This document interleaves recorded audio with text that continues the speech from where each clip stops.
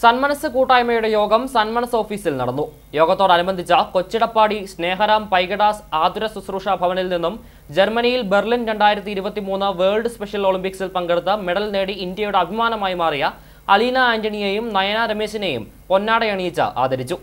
Italy അസീസിയയിലെ വിശുദ്ധ ക്ലാരയുടെ ജന്മദിനത്തിനോട് അനുബന്ധിച്ച് സന്മനസ് കൂട്ടായ്മയുടെ വാരയോഗം സന്മനസ് പൈക ഓഫീസിൽ നടത്തി. യോഗത്തിനോട് അനുബന്ധിച്ച് കൊച്ചിടപ്പാടി സ്നേഹാരാം പൈഗഡാസ് ആതുര ശുശ്രൂഷ ഭവനിൽ നിന്നും ജർമ്മനിയിൽ ബെർലിൻ രണ്ടായിരത്തി ഇരുപത്തിമൂന്ന് വേൾഡ് സ്പെഷ്യൽ ഒളിമ്പിക്സിൽ പങ്കെടുത്ത് മെഡൽ നേടി ഇന്ത്യയുടെ അഭിമാനമായി മാറിയ അലീന ആന്റണിയെയും നയന രമേശിനെയും പൊന്നാട അണിയിച്ച് ആദരിച്ചു.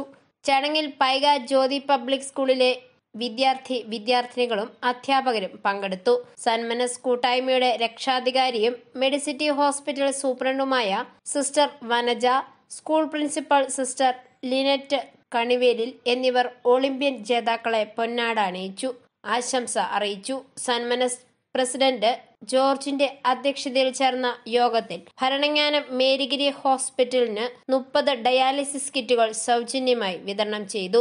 അറുപത്തിയഞ്ചിലധികം പേർക്ക് ഭക്ഷണപ്പൊതികളും പലചരക്ക് സാധനങ്ങളും കൈമാറി. ബിജോയ് മണർകാട് ജോജോ കുടക്കച്ചിറ രതീഷ് പച്ചാളം മാർഗരറ്റ് എന്നിവർ യോഗത്തിന് നേതൃത്വം നൽകി. ഐഫോറി ന്യൂസ് പാല.